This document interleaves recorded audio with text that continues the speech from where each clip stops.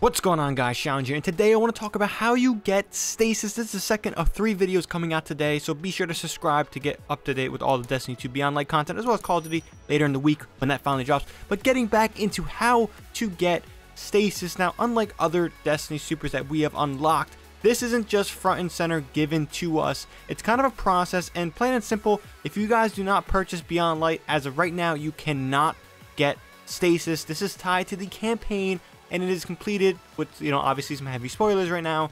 After you defeat Eramis, you get another mission after all that, and you fully unlock Stasis as an ability you can frequently use without it being mission based. So, with that being said, you know, the details revolving, you know, different attributes of Stasis, I'm still in the process of getting all the different fragments and things like that. So I'll definitely make a video when I obviously get all the things and give a full class review of what I think about the Titan Behemoth subclass for uh, stasis. But in general, pretty much the quickest way you want to achieve stasis is just completing the campaign.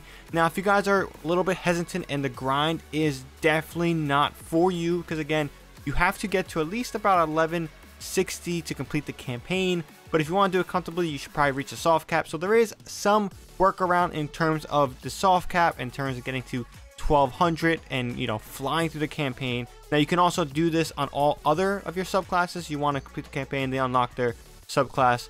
But yeah it's important that you reach 1200 to cruise through the campaign. Again the campaign is very very good but if you guys want to avoid the grind definitely check out my video on annotation above screen right now. It's going to show you guys how you level up fast in order to at least power your way through the campaign. So that being said let me know what you guys think about you know the campaign so far. If you guys enjoyed it i'm going to be dropping a review soon regarding the whole campaign story, what I thought about the story and everything like that, and the things after that.